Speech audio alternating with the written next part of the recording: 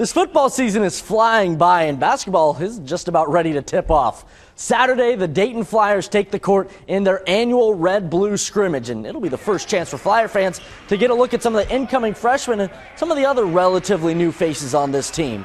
One of the thing, one thing is for certain though, UD will have plenty of more bodies this year than a year ago. And while this is an intra-squad scrimmage, it's still an important day for the team.